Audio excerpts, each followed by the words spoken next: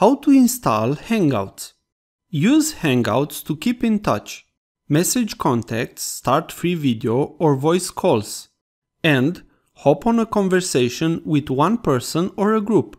Include all your contacts with group chat for up to 150 people. Let's install the app. First, we need to go to Google Play, so open Google Play. On the search above, write Hangouts. Tap on the search. After you have found the app, just tap on install and wait. You have now installed the Hangouts app on your Android device. After the install is complete, just tap on open. If you are connected with an account from Google, select the one you wish to use. Now you can add the number to your Google profile. I will not add a new phone number now. I will tap no, but you can configure a new number. Now let's talk about the option we have directly on the first screen.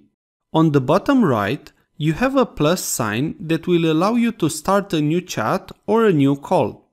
If you tap on a new conversation, you will be able to start a chat with somebody.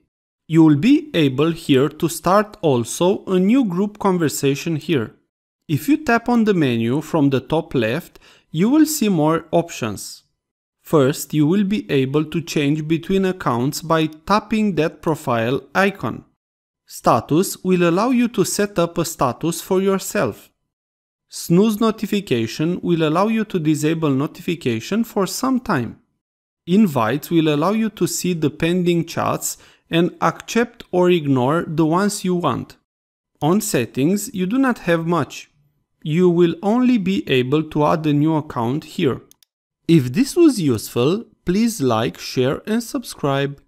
Also, if you have any questions, please ask them in the comments area below.